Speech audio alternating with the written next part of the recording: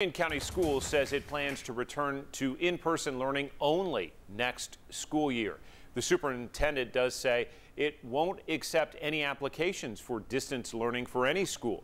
The district says current distance learners should consider returning back to in-person classes after spring break. The superintendent says this will be important so teachers can work with students to tackle potential learning gaps.